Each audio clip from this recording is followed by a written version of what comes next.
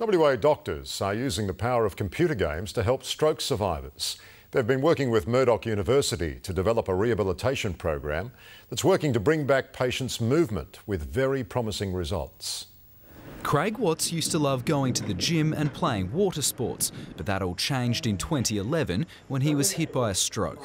Couldn't work, I couldn't walk, communication was a problem. Craig lost all movement on the left side of his body. Four years on, the 61 year old is fighting to regain his independence through virtual reality.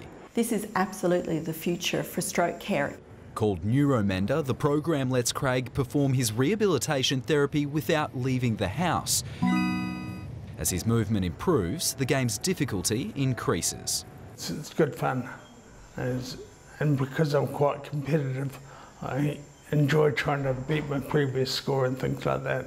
Using just a computer and 3D sensor, the program gives real-time feedback to the patient and health experts. Data is collected up to five times every second. Then their data is uploaded to a server.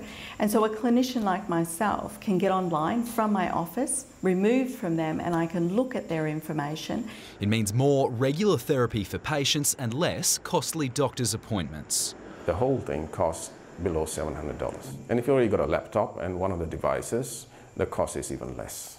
Dr Mohammed Fairuz Shiratuddin's mother is also a stroke survivor. He came up with the concept and designed the program with the help of Murdoch University students.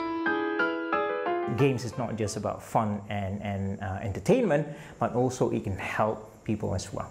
I would be surprised if this stuff doesn't take off and you're looking at a huge industry. For now, Craig is working on his upper arm mobility, but experts hope the technology will one day help him to drive again. I know I'll never get back to where I was, but with the help of the virtual reality, I think I might get somewhere back towards where I was. Clinical trials for virtual reality rehab begin in January. Nathan Brooks, 9 News.